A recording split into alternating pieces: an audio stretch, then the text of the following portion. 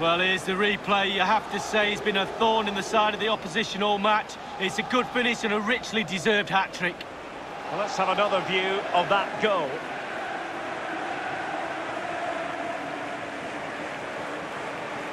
Well, he's playing...